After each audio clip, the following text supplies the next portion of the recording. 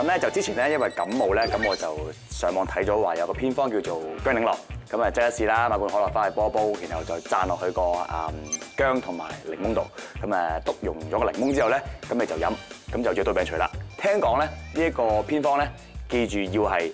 誒風寒嘅人先至可以飲嘅，風熱就千祈唔好飲啦，因為太熱氣咧加薑嘅話咧就會更熱氣嘅。咁但係咧如果你真係唔知道咧，你又唔知自己風寒定風熱嘅話咧，最好就係睇醫生啦。